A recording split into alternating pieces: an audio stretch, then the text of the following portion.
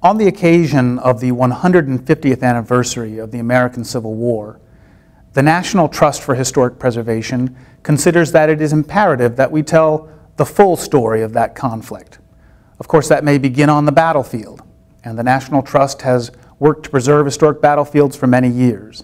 We also care about the stories of contraband heritage, of those 500,000 women, children, and men who liberated themselves, emancipated themselves, and in the course of doing that, influenced the political climate and hastened the formal emancipation.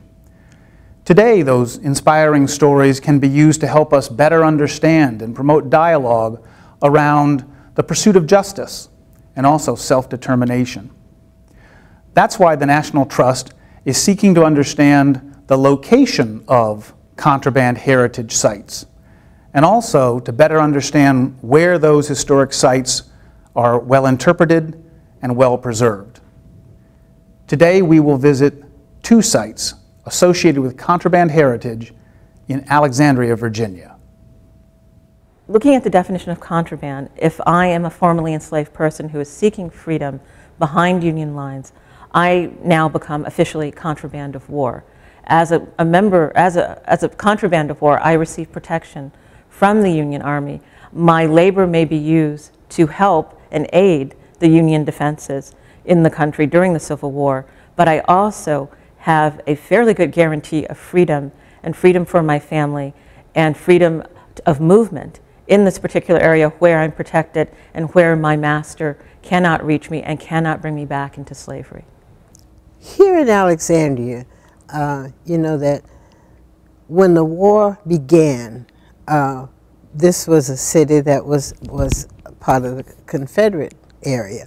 Um, the federal government was not holding uh, slaves per se. So this became an area where runaway slaves who were called contraband were able to come for uh, freedom so, as, as much as you were free in that day. They were able to come here and, and start new lives. And that's what happened.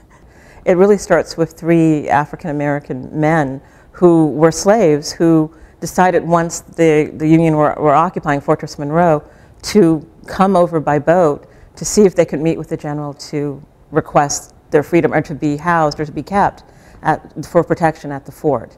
And I think that that probably is really the beginning of the story and Butler's decision to decide are these people going to be, what are they going to be? Can they stay here? Should they go back? He decided that he would make them contraband of war. And it said that shortly after he did this, this terminology actually became quite, quite popular uh, in, in Virginia. It was used very frequently. And he offered them protection. And then shortly after these three men received protection, even though their owner sent an emissary over to, to get them back and he was refused, many more people saw that now as a chance to go to Fortress Monroe for freedom, including an ancestor of mine, William Roscoe Davis. So for me, it's a personal story, and Fortress Monroe in Hampton is really a symbol for me of my family's freedom and the beginning of my family's journey.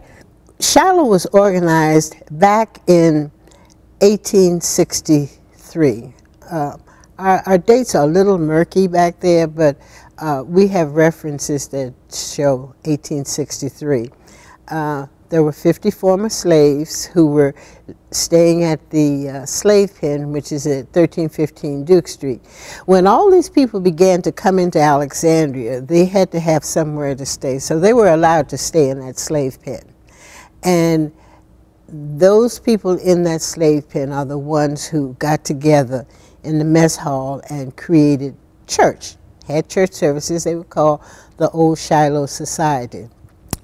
And you need to remember also that back in those days, uh, we could not congregate by ourselves. They were afraid we would do something, so there always had to be a white presence. When you have so many people coming into an area, say looking at Alexandria, when you look at the, the contraband population that came in, probably over 8,000 people coming into this city, and they were probably just under half of the, the, the population of the city it makes a change. You're looking at the the, the job situation changing. You're looking at the, the landscape. You're looking at shanties going up. People needed places to live, uh, places where they could find food. And so it does change the You become a visible representation of what is going on in the war. People can see that these are families that are struggling, that are really working to become free. And so it really becomes part of the greater national dialogue when you see this influx of people who are desperately trying to get away from horrible situations uh, throughout the South. And, and they're really trying to capture and to be a part of what everyone in America is supposed to be entitled to, and that is the basic rights of freedom.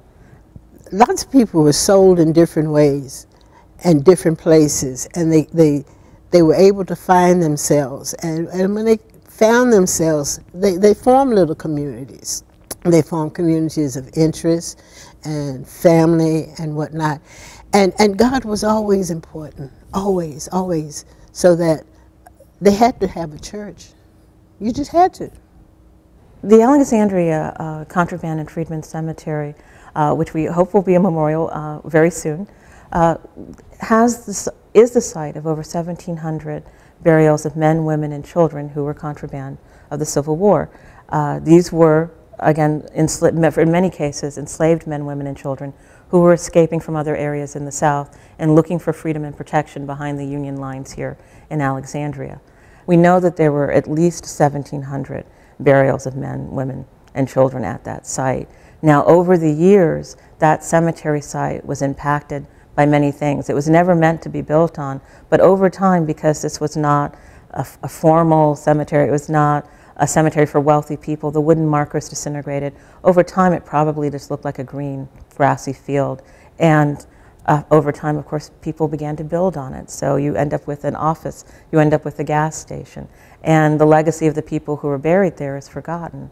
And unfortunately, that would have been the case if it hadn't been for, for two wonderful community women, Lillie Finklea and Louise Massoud, who founded the Friends of the Freedmen Cemetery and had uh, memorial celebrations at that site, even when it was a gas station, even when there was still an office building there.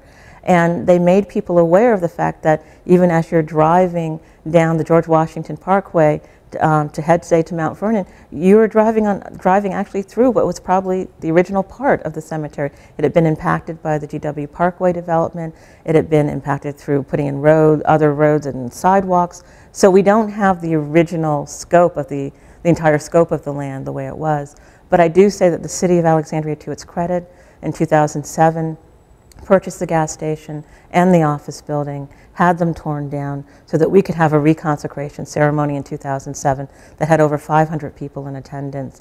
For me, contraband heritage, especially during the years of the sesquicentennial now, as we're really re-examining uh, America's role in the Civil War and the impact of the Civil War during the sesquicentennial celebration, it's a chance to tell in detail and in more depth the story of African American life. It's not just the idea that African Americans were slaves during the Civil War, and then after the Civil War, they were free. It's much more complex than that. When you're looking at half a million people who are, are struggling for freedom, who are contraband of war, and you're looking at their legacy, but you're looking at through the eyes of the academic world, in some ways it is easy to discount the impact of those people.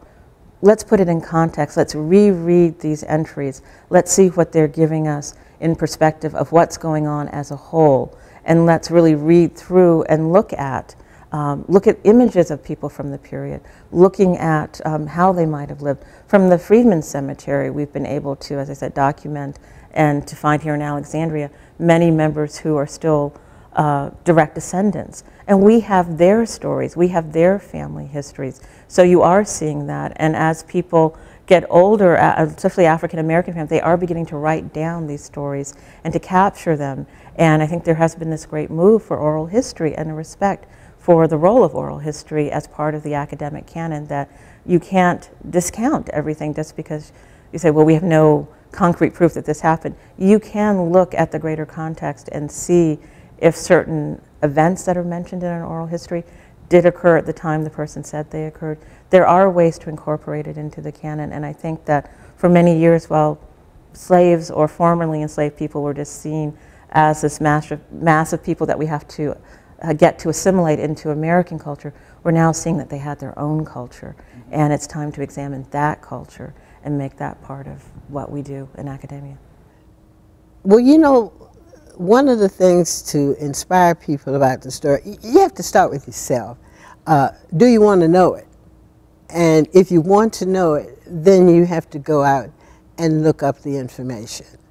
Um, I will be the first one to say that when people began to talk about the Civil War, that was not something I wanted to talk about because I was looking at the surface and not the deep down uh, feelings of Civil War. Uh, this, there's a big story out there. Those, there, there are people that are there are people that we we need to know and touch in order to bring a reality to us. And we need to know about the story of the people that were around during those times so that uh, we can sort of feed off their strength because their backbone helped us. And we're now trying to make a bridge for our youngsters to follow. So it, it's a continuous pattern.